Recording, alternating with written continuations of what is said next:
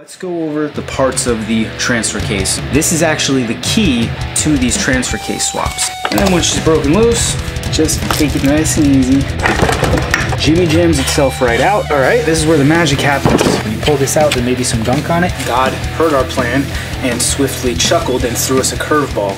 Uh, What's up, Buck Doug with D&E in the garage? Obviously, today talking about transfer cases. Uh, I am in the process of doing a transfer case swap on my 2001 Jeep Grand Cherokee WJ. Some of you know Project Dan gave me this 242. I'm going to use some of the parts from this 249 that Eric and I pulled at the junkyard. Uh, we're going to put them together, make a hybrid case that'll work in my Jeep.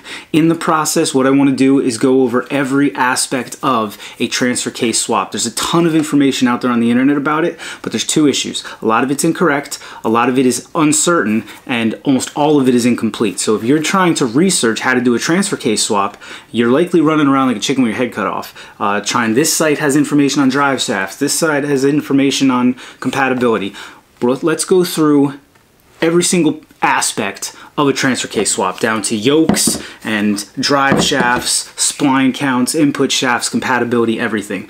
I don't usually do this but in the description I'm definitely going to put timestamps because this is going to be a long video. So if all you're looking for is X, go down in the description, down there in the squawk box, and you'll be able to find, you know, minute five, skip there if you need drive shafts, minute whatever, because uh, I'm going to indulge my enjoyment of talking on this one, and we're going to just try to get all the information out there. So without further ado, uh, let's dig into this. All right, to start with specify, this information is going to be applicable for a lot of transfer cases out there in the world, but most specifically it's for the new process, new venture transfer cases that are used by Jeep, Dodge, Chrysler, and even GM. Uh, they use this style transfer case, not always the exact same casing, but the internals often are uh, compatible. There's actually a really good video by BleepinJeep where they take a 231 Jeep transfer case and they put the internals in the in the shell of a 233 S10 case so that uh, the S10 can use it and it works fine it's great so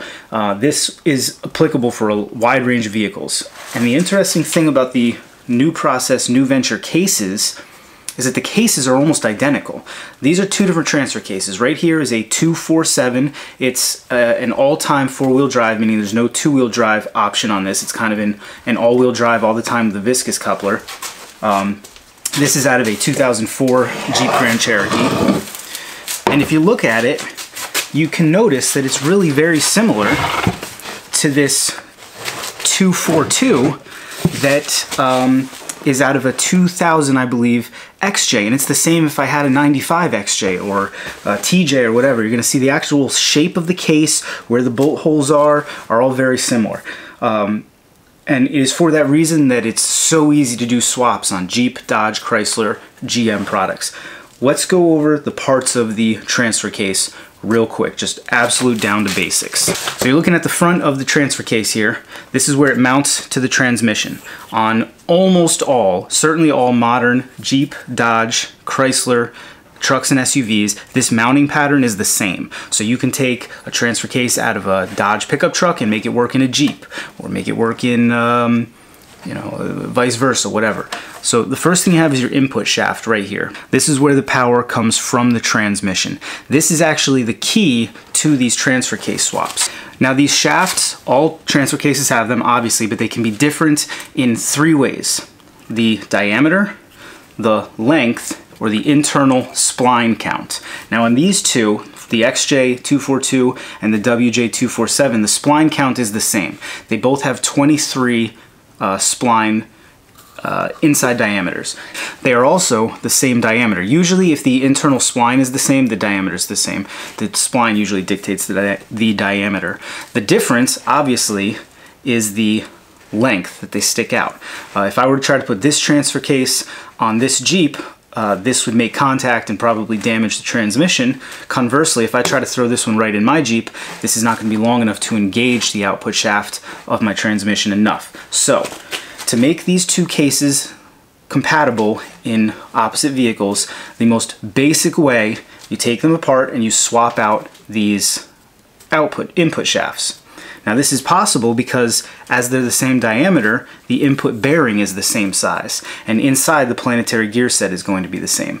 The only time you can't do this quick hot swap is if the diameter is different, meaning the input bearing is different. Now you're still not sunk because a lot of times you can just swap over this plate which holds the input bearing. That's what makes these cases so customizable and um, so swappable between vehicles. It's one of the reasons that I love uh, Jeep and Dodge products is you can really find a transfer case for your needs and with a little bit of work and time on the internet, you can figure out how to make it work. All right, staying on the front of the case, we've got the input shaft, we've got where it mounts to the transmission, you have your linkage selector over here. It's going to be different depending on what vehicle you're on. On the 247, it comes out the top and it's real tall. On the uh, XJ242, it goes to the bottom and it's a little shorter but it's always going to be right here. Most of the time when you do a swap, you want to keep your vehicle's original arm. So this arm is going to end up on this 242, I think. Right next to it, you have the front output shaft. All right, this is what goes to your front drive shaft. Now, this is a U-joint style yoke, meaning there's a a U-joint, obviously, at the end of that drive shaft. But a lot of these have a cup style receiver on the front. And it looks like this. And what it holds is, it's called a Rzeppa joint, and it's basically uh, a CV joint. It's basically a flat CV joint, and um, they used them in a lot of the entry level uh, light duty so uh, Jeeps. So if you got a 4 liter Laredo Grand Cherokee, you probably had a Rzeppa front end. As you can see, it, it fits right on and it looks the same at the end of the day. Uh, it's just the style of joint. Now most people prefer the U-joint style. They're stronger, they're easier to replace, and they're cheaper to replace. Uh, and when these things go bad, they make a racket. I had one, I bought a WJ real cheap because the previous owner thought the transmission was going. It was just the Rzeppa joint that fits in here. So if you have the opportunity, a junkyard swap, get a different transfer case, get a different um, output shaft yoke, and you can switch from a Rzeppa to a U-joint. It's just another thing to keep in mind. Um, you may have to swap that over, you may not. So confirm what, what output shaft you have in the front and confirm what uh, output joint the donor transfer case has. Now, if you have to pull one of these, the best way to do it is on the vehicle. You lock the transfer case in four low, uh, and then you're able to break free this nut. Now the nut on almost all of these, all the ones I've ever encountered, is one and one eighth inches or 28 millimeter will work. All right, now here's the thing. If you're a goof like me and you forget to do it while it's on the vehicle, you have a bit of a problem, especially if you have the Rzeppa style because you can't wedge it, can't wedge anything against it. So, BleepinJeep actually makes this it works like this. So if let's say you get like Project Dan brought me this transfer case. I had no opportunity to pull the yoke when it was on the vehicle. So I took it off with this um, yoke tool that BleepinJeep actually sells. I bought it from him years ago. Uh, they sell it on their website. I would highly recommend it. uh, whatever sins Matt may be guilty of committing against rare XJs, if that man designs a tool for Jeeps, go ahead and buy that tool. It's probably dead useful. The man's a genius. All right, so you bolt it to your yoke like so. Then you have a few options. You can either get a pipe on here, or I like to just put a breaker bar in the little breaker bar, half inch breaker bar hole up there. You'll notice mine isn't crazy tight. I don't have the right size bolts, doesn't matter. I've got an inch and a quarter, or inch and an eighth right here that we slip down in there. Now these things are gonna be tighter than a turtle's backside. So you can try, but if you got the thing moving, now would be a really good time for an impact gun because an impact gun will pull that right off or a buddy to hold you. I don't have either. So what I do, oh, I use the mechanic's most ancient friend. Big chunks of pipe, get some leverage on it. Now usually I do this on the shop floor, not not on a table, but this is for science for you people, so I'll try to juggle it. And away we go.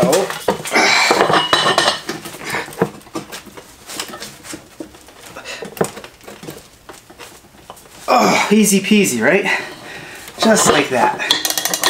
And then when she's broken loose, oh, you can just work it. All right, and most of the time these just slide right off.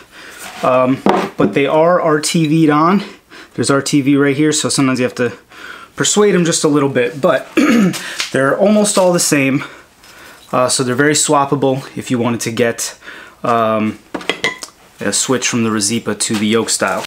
In fact, as you can see, these are the, this is the XJ one, this is the um, WJ one. You can see they're identical in diameter, spline count, they're the exact same part.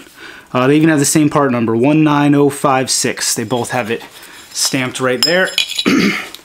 so as far as determining compatibility for your swap, you don't really have to worry about the front shaft too, too much. Now additionally, um, you'll notice they all have a breather tube in the same exact place because again, looking at the back of these, this is, this is the same part basically. Uh, something they may have different though, right here is the um, shift selector sensor. Uh, so on a vehicle with like the 231 or the 242 that came in the XJ and the WJ and the TJ, um, if you're in part-time, there's a little light that goes on in the dash, or if you're in 4 low, this is the sensor that tells you. The 247 has no need for that, so you see it's completely missing. Now when I put this in my Jeep, the sensor is going to be there, but I don't believe the thing to plug it in is going to be. Uh, it's only four wires. I believe if I wanted to, I could probably figure out how to wire it up. I have read walkthroughs where people did learn how to wire it up. Uh, I'm not going to miss it. I will just do it the old-fashioned way and look down at the shifter and figure out what I'm in. But it is doable to add this to a vehicle uh, that didn't have it like this, but uh, for my purposes, I'm probably not going to. Now moving to the back of these cases are where things really start to look different, and these are this is where you easily visually identify a case if you see it out there in the yard.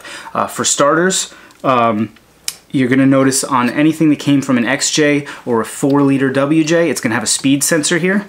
On the V8 WJ, the speed sensor is in the transmission, in the 545 RFE transmission, so it doesn't need a speed sensor.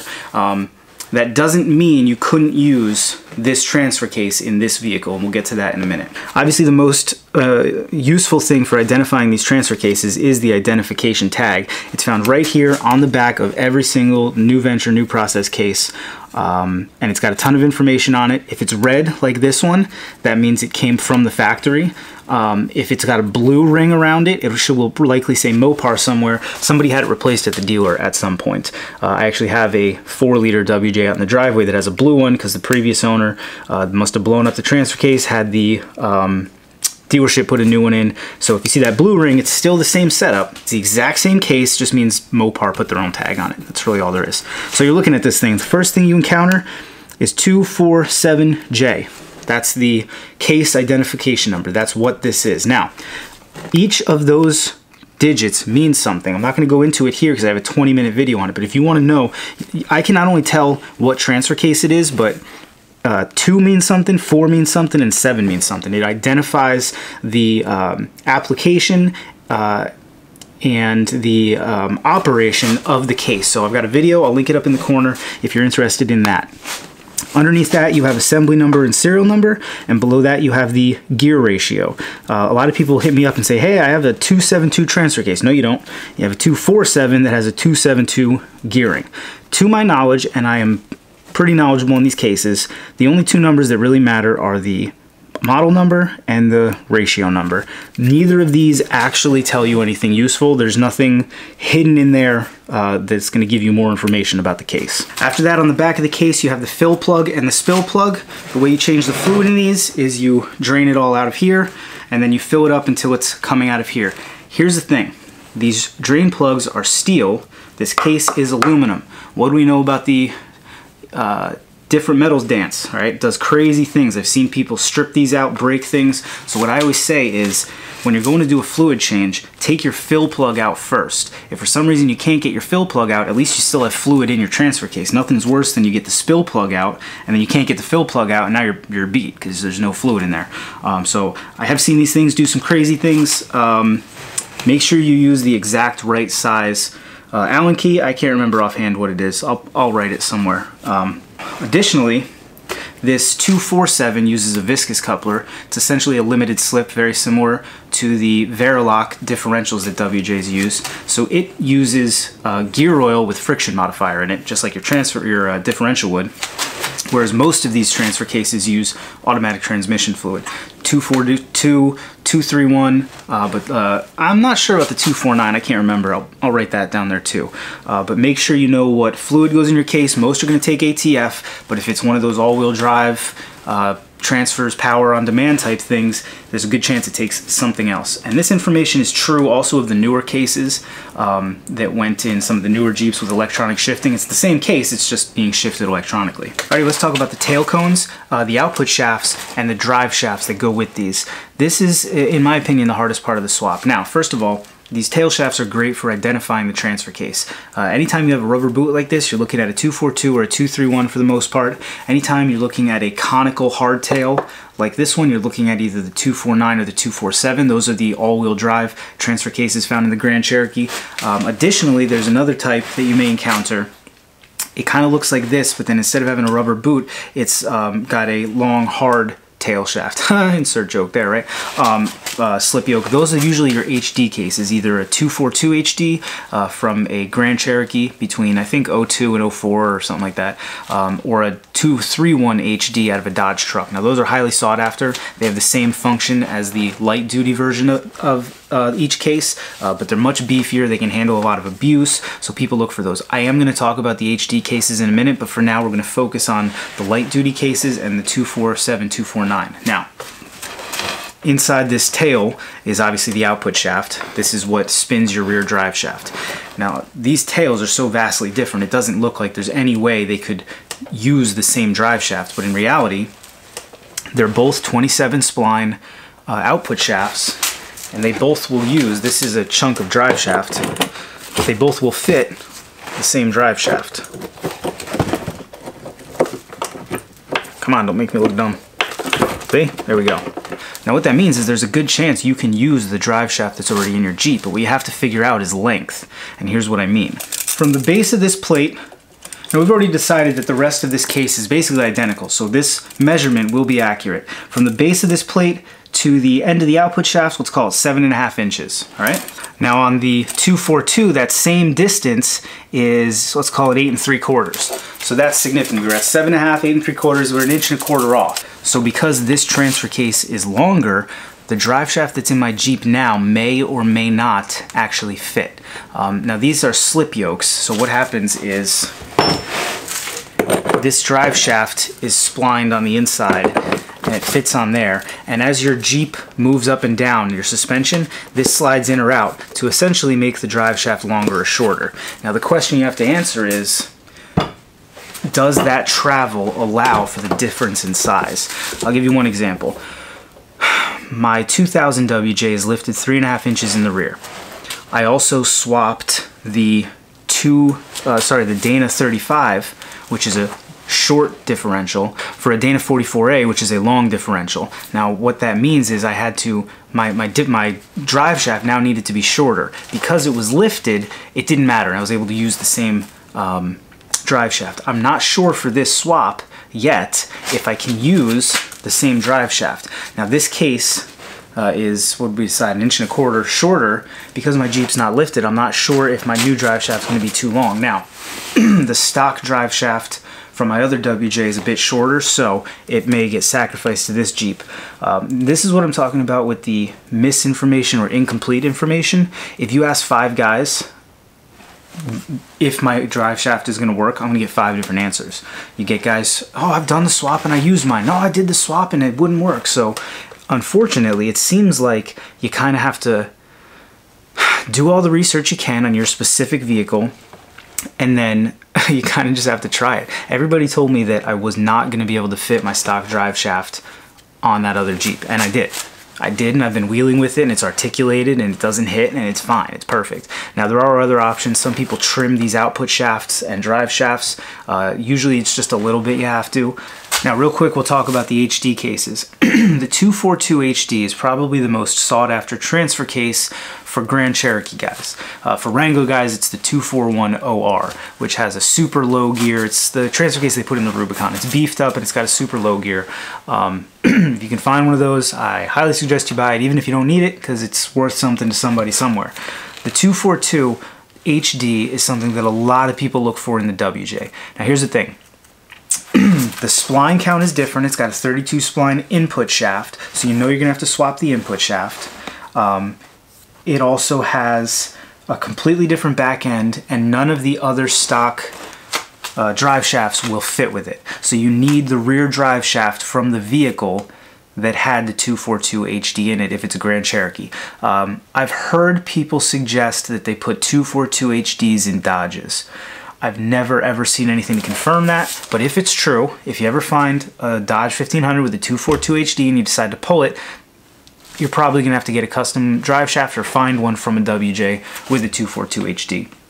What they did put in Dodges were 231 HDs. Uh, and again, since that transfer case never existed in a Jeep, you're probably gonna have to get a custom drive shaft made, uh, but chances are if you're doing a big swap like that, uh, it's probably because you're putting it on a heavy duty off-roader, maybe you want you know, slip yoke eliminator and all that stuff anyway. Alright, that's enough talking about it. We might as well get to it. Let's rip down the 242. First thing you're gonna have to do is go ahead and remove the front drive shaft yoke. Uh, you need that removed and it's easier to do now. Next, uh, you can remove this plate. Oh man. Oh boy. These are definitely Loctited in if I recall. That's why we're having trouble. Come on. Oh, these things are real fun to argue with alone on a bench, but that's all it's gonna take. If I recall, yeah, these had some kind of Loctite on them. So we will Loctite them again at the end. Alrighty, now this piece is RTV'd on, uh, even from the factory. That's how they're supposed to be. There are pry points. Now, like I've said, this is an aluminum case. You want to be very careful about warping or breaking it. So there are little pry points in the side. You're going to want to get a screwdriver or a tiny pry bar in there and kind of jimmy, jimmy jam it, jiggle it that, that way. Uh, there we go. Just take it nice and easy. Uh, so that you're sure you're not going to break anything. Now, when you pop this guy off, you'll notice there's a divot in the top. Uh, this needs to be oriented the same way when it goes back on as you just took it off. This hole needs to line up with this hole there. Um, that's how it moves oil around. Now what you're looking at is the input shaft, the input shaft bearing. There are a couple of snap rings here that we're gonna have to contend with. I do not have good snap ring pliers, so I'm in for a fight. I recommend you uh, go ahead and get good ones before trying to do this. It's just gonna make your life a heck of a lot easier. Alrighty, what's up, Buck? It's actually the next day. I went out and I bought the proper pliers last night. My camera died and then the SIM card uh, or uh, SD card was all filled up so I took that to mean that God was telling me to go ahead and buy the right tool for the job. so for this, this is not a snap ring, it's technically a locking ring so you need these little flat nose guys here. I never had them before but now I do and wow, that's so much easier than doing it the wrong way. So moving along now we can begin to split the case having removed the front yoke and the uh, input shaft locking ring. Alright, as you'll see I spilled ATF all over the place which is just awesome because that's my favorite smell in the world. Um, once your seals are off the front. Uh, your case is wide open, so make sure you're not getting any junk in there, and be careful because that last bit of fluid can come out. We're now ready to split the case. Uh, these cases are held together with 15 mil 6-point bolts and 10 mil 12-point bolts. The only 12-point I seem to have around is this crazy wrench that I modified for doing um, oh, 4.7 liter uh, hydraulic lifters. Um, but whatever, you're just going to work your way around the case uh, taking them all out. These cases are RTV'd together from the factory and, they do have factory pry points so uh, there is a process for getting them out. Now we get to finally split the case. Finally, finally, finally. Got to do it carefully the Aluminum case. There are two pry points where your screwdriver can go in. One's right here and one's on the opposite side. And what you're going to want to do is get them in there Yeah, there we go. Hear that RTV breaking apart? Just do it nice and slow. A little bit on the other side. This is gonna make such a mess. Oh my god, this thing's gonna bleed everywhere. I've never been very good at getting all the fluid out of these things before digging in. I forgot about the other locking ring in the front. There are two locking rings in the front. One that goes around the input shaft and one that goes around the input bearing. Uh, if you don't pull that out, you're not gonna be able to split this nicely. So that's why I was having all these problems. Uh, it's difficult because it's usually hidden by RTV. So you're gonna have to break the RTV up, find it, obviously without marring anything up. but it's right here.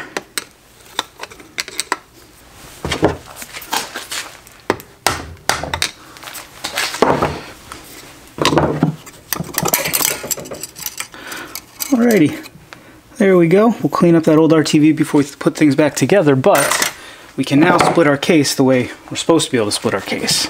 All right, uh, you've got all your snap ring, lock rings out of the way. You get her stood up, and we can start working this guy off. Little, little guy bit my finger. Come on now.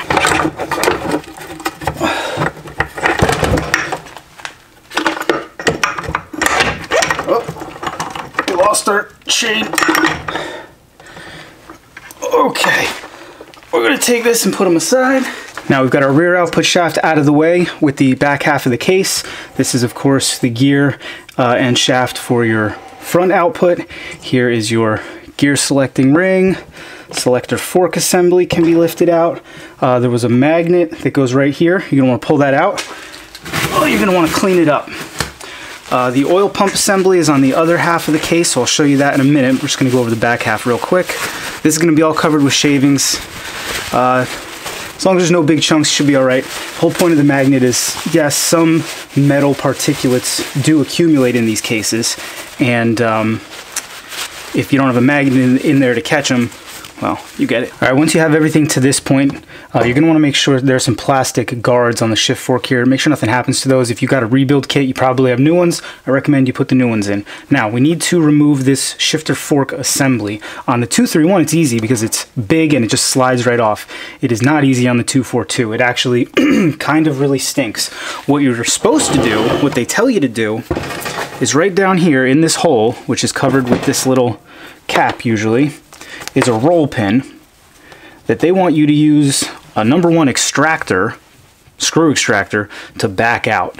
Um, I don't know anybody who's tried that method who hasn't either uh, been at it for three days before it happened or just given up. Some people end up drilling big holes in their cases. Uh, there's a much easier way. don't don't mess with that hole. I would not recommend it. Right here. This is a 7 8 I don't know what the technical name for it is. now you can remove this when the case is put together still, um, and that would make it much easier, but I was busy focusing on you folks filming, so now I'm going to have to argue with it. But you remove this and then you can wiggle it out. I'll show you how in a second. Oh, that was easy. I'm going to remove this guy. Here, try to get you guys an angle on it. This is kind of holding the shift plate in place. It's got a spring and it's also got another little piece on the end. I recommend taking it all. That way it's not left rolling around anywhere.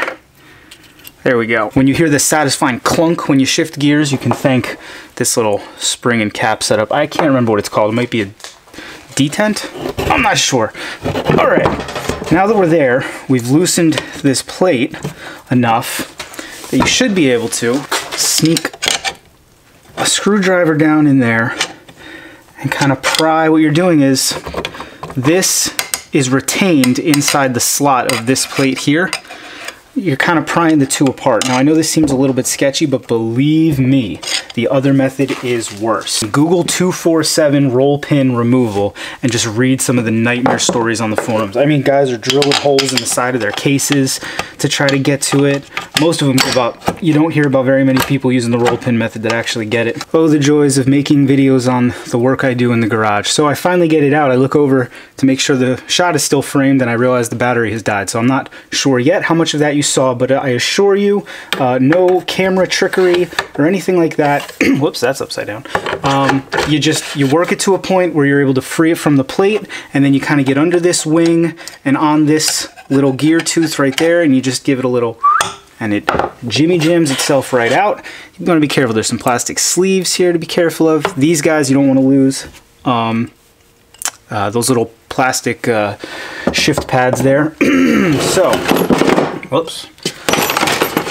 Now that that's done, and that is the piece that gives 242 swap owners the most uh, heartache. All right. Then this piece will come out with a little bit of jimmy jamming again. There are plastic um, feet on these. You want to just put this stuff aside. I know we got a lot of pieces now, but Trust me, it all goes back together. It's not as scary as it seems. Right here we have our planetary gear set. All right, this is where the magic happens.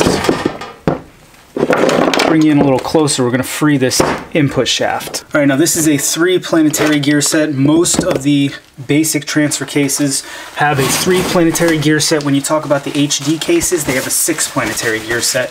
You can see instead of spaces here, uh, you just have another set of gears. They're inherently stronger, more metal, more contact, more beefier. All right, there's another locking ring, snap ring type guy in there. Uh, it's got little pry points. You can see, oh boy, right here and right there. So nice and carefully, we're gonna get them up and work them around. And here you go. This is your input shaft. This is what all this fuss is about. Uh, you can see it's got some roller bearings inside there.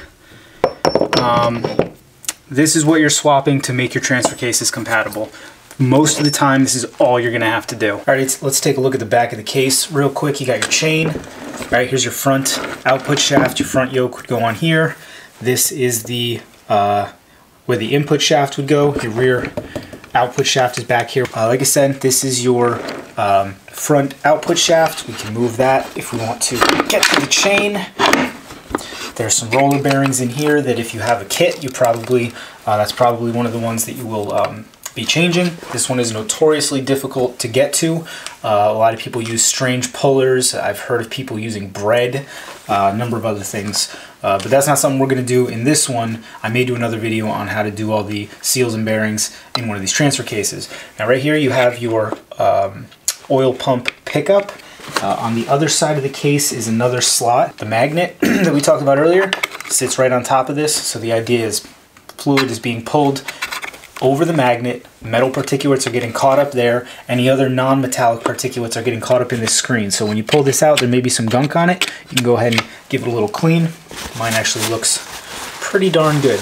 You wanna make sure you don't disrupt any of this stuff, because obviously you're not gonna be pumping oil when you're not gonna make it very far down the road. One last quick note on the back of the case, uh, these chains tend to stretch, and that's how you can determine how worn out a transfer case is. Now, when they get real worn out, they'll actually slap on the bottom of the case and make noise. Now, you can see that even though this came out of a Jeep with 220,000 miles, uh, the chain's really not all that stretched. What that tells me is this Jeep was driven in two-wheel drive most of its life. So even though it has 220,000 miles, the power was coming in here, going straight through. There wasn't a lot of tension being put on this chain uh, by sending power to the front. Now, uh, Jeep that's been off-roaded a lot in four-wheel part-time where these two are locked together, that's when the chains start to get stretched and you'll have problems where they're actually hitting the bottom of the case. The health of a transfer case can be determined here, uh, and this one's in really good shape. Even though it was from a high mileage Jeep, it was taken care of and um, was not abused, and I honestly believe this was probably a city Jeep um, that was driven in two-wheel drive most of the, its life. So that's a win. Alrighty friends, as is so often the way, we made a plan, God heard our plan, and swiftly chuckled and threw us a curveball. Uh, the curveball in this case is that I got into the 247, this is actually the input shaft, and you know what, it's just way more fascinating than I thought it was going to be. I've never dug into a 247, I've done extensive reading on it, but um, I think it deserves its own video, so we're actually going to close this video out here. Uh, we've accomplished what we came to do. Yes, I need to put all this back together, but you guys don't need to watch me do that. Oh, this is the gear set planetary gear set from the 247. Sorry, this is the planetary gear set from the 242. I'm going to slide the one from the 247 in, and away we're going to go. Just like that. You see it fits perfect. Everything spins. We'll get our plates and everything in there and then I'll be able to slide it right into the 242 and I'll be in business. So I will do a video on the 247. What I think I'm gonna do since I'm already into this one, when I pull the 247 out of my Jeep, we'll dissect that one. Uh, that way we can do it from the very beginning and really go over it. In my uh, reading, I noticed there weren't too many good videos on the 247. Lots of like hour and 20 minute long teardowns. And I know I'm a little wordy, but I'd never give you an hour and 20 minute long teardown video. No one wants to watch that. Anyway, let's close this out here. I'm sure there's going to be lots of questions. By all means, leave them down there in the squawk boxes. Um, I did my best to make this a complete video with the generic basics that anyone would need uh, for specific questions. Put them down there. I'll try to help. Others in the community will help. Now that you know the basics, you can at least go to the forums to ask about your specific vehicle in an educated way. So this right here is the key. This is what it's all about. Uh, at the most basic level, just switching out input shafts, and then from there, maybe you have to mess around with drive shafts. Maybe you want to do some other little things. I like that. Anyway, um, yeah, let's close it out there. Uh, if you like the video, like the video, by all means, subscribe to the channel. Consider checking us out on Patreon, Etsy, and Teespring. As always, thanks for watching. See you next time.